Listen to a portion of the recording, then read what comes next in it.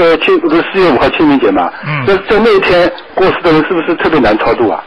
四月五号清明节那天，啊。实际上超度靠这一天超度是不行的，就是超这正好在这一天过世亡呃过世了，啊。这种人这种亡人是不是特别比较难超度？啊，正好正好在四月五号过世是吧？对。呃这个比较麻烦一点，嗯，这个这个这个这个这个有两种情况，嗯。一种是被请下去的，啊。就是他到这个时候，嗯。比方说你因为啊、比方说呃下面的官府啊、嗯对你这个事情很重视，至少。嗯。有两种，一种是到了这个时间，虽然你没有到阳寿，但是你坏事太多了，来来，先把他拉下来，嗯。这种可能性也有。还有一种呢，来来来，这个人我们太需要了，到下面来做官。